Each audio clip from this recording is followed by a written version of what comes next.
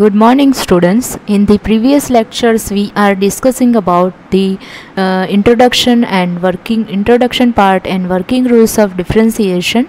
In this lecture uh, we are we are going to discuss about the methods of difference.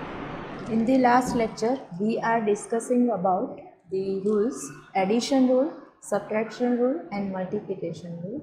Now we are discussing about division rule.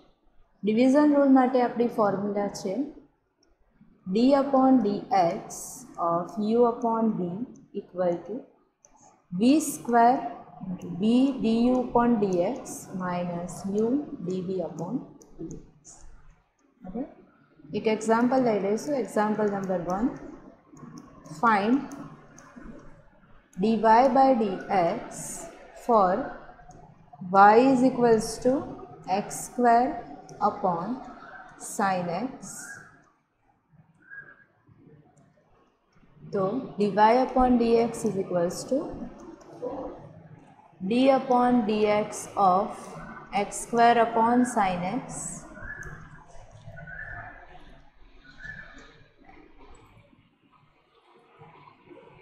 apply the formula now x square x square ને આપણે લઈશું u sign એક્સને લઈશું બી તો formula apply કરીશું. તો ડિનોમિનેટરમાં આવશે sine એક્સનો હોલ સ્ક્વેર ઉપર આવશે વીની જગ્યાએ sine x d upon d x of x square minus x square d upon d x of sine x okay હવે સિમ્પલ જ્યાં d d by d x લખેલું છે, એનું ડેરિવેટિવ કરવાનું છે.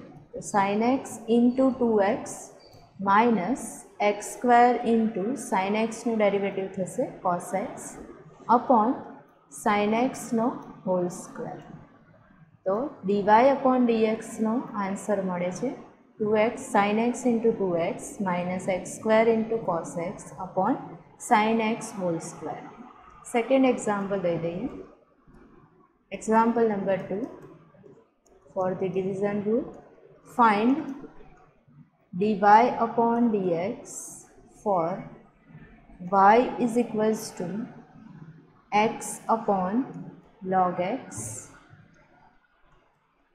using the formula for division rule x ને આપણે લઈ લઈશું u log x ને લઈશું u તો dy upon dx equal to formula પ્રમાણે જઈશું log x no whole square log x into d by dx of x minus x into d by dx of log x.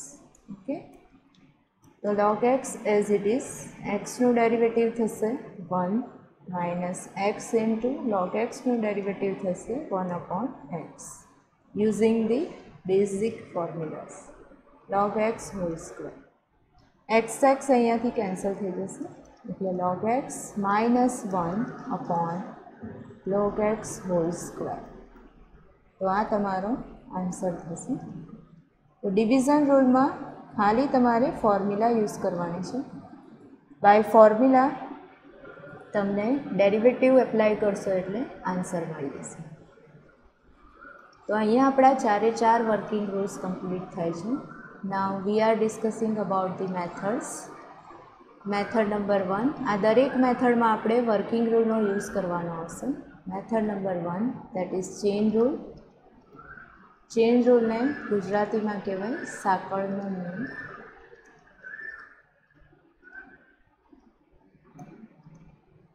Okay chain rule chain rule apply ક્યારે થશે તો તમને એકથી વધારે ફંક્શનનું combination આપેલું હોય અને તમારે ડેરિવેટિવ કરવું હોય ત્યારે ચેન રૂલનો યુઝ થશે. તો ફોર એક્ઝામ્પલ તમને વાય ઇઝ ઇક્વલ્સ ટુ આપેલું છે લોગ સાઇન એક્સ તો અહીંયા બે ફંક્શનનું કોમ્બિનેશન છે. First function is the logarithm and second function is the sine x તો આ રીતનું કોઈ પણ ફંક્શન હોય ત્યારે તમારે ચેન રૂલ અપ્લાય કરવાનું છે. ચેન રૂલ માટે આપણી પાસે ફોર્મ્યુલા છે d by d x into f of g of x equal to f dash g of x into g dash of x g dash of x. So, using this formula, we have to solve y is equals to log sin x. So by d x into log of sine x તો સૌથી પહેલાં તમારે જે બાર function છે, એટલે કે log એટલે કે તમારો અહીંયા એફ થશે, એનું ડેરિવેટિવ કરવાનું છે, બરાબર? તો લોગ એક્સનું ડેરિવેટિવ થાય one upon x therefore log sine એક્સનું derivative થશે વન અપોન સાઇન એક્સ અને બ્રેકેટનું અલગથી કરવાનું છે, એટલે cos x therefore we get cos x upon sine x એટલે cos upon sine that is cot x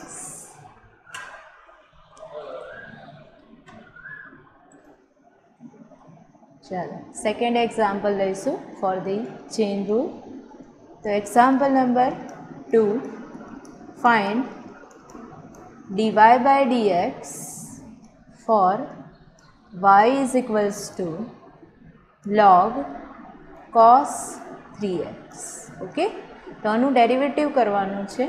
તો આપણે આગળ ડિસ્કસ કર્યું એ રીતે. ફર્સ્ટ તમારે જે બાર જે ટર્મ છે દેટ ઇઝ લોગ એક્સ એટલે લોગ એક્સનું કરવાનું છે અને પછી તમારે બ્રેકેટનું અલગથી કરવાનું છે, બરાબર?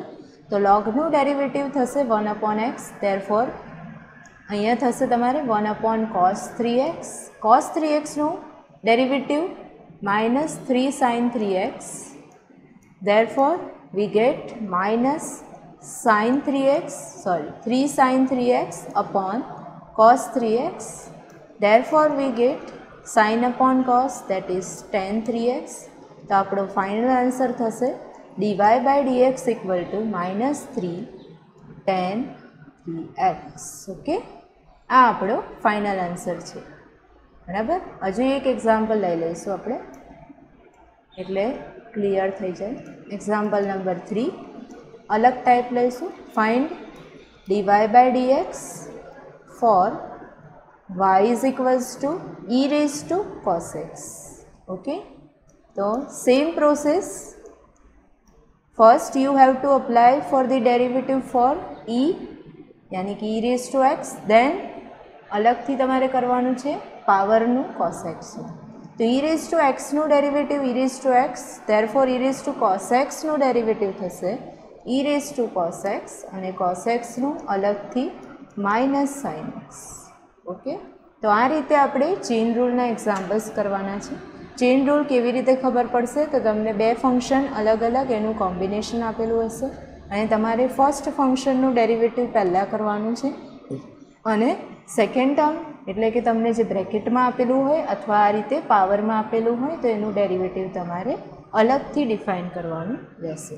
This topic is important for the MCQ also okay તો ચેન રૂલ ઇમ્પોર્ટન્ટ ટોપિક છે. Now we are discussing about the method number two method number two that is derivative for derivative for parametric equation. Parametric equation એને ગુજરાતીમાં કહેવાય છે પ્રચલ સમીકરણ. Okay? પ્રચલ સમીકરણ.